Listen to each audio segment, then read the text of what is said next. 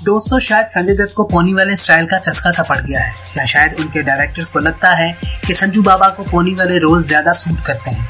जैसा कि आपने के जी टू में उनको अधीरा का किरदार करते देखा, जिसमें वो बचपन से ही वाइकिंग्स कबीले की ग्रोता और नीति को अपनाते हुए पोनी रख कर अपनी दहशत का इजहार करते रहे हैं और रांची के लोगों से दिन रात माइनिंग करवाई तो जनाब, एक बार फिर से आप उनको पोनी रख कर लोगों पर अपनी दहशत का रोप दिखाते हुए देख सकेंगे। जी हाँ मैं तो समझ गया हूँ, आप भी समझ जाए कि मैं बात कर रहा हूँ नई आने वाली फ़िल्म शमशेरा की, जिसमें आप संजू बाबा को दरोगा का किरदार अदा करते हुए देखेंगे।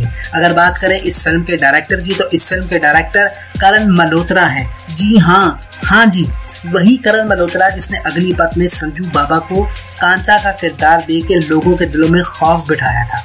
अभी इस फ़िल्म का ट्रेलर ही आया है और लगता है कि शायद इस फ़िल्म ने के जी एफ़ टू का रिकॉर्ड तोड़ना है। तो जनाब, ये था हमारा हिस्सा संजू बाबा के इस किरदार, यानी कि दरोगा के किरदार को प्रमोट करने में, इस फ़िल्म के ट्रेलर में बात करने में उम्मीद करते हैं कि आपको हमारी ये वीडियो पसंद आई है। अगर आपको हमारी ये वीडियो पसंद आई है तो कमेंट करें, लाइक करें और चैनल को सब्सक्राइब करें और बन जाए हमारी वी फैमिली का हिस्सा।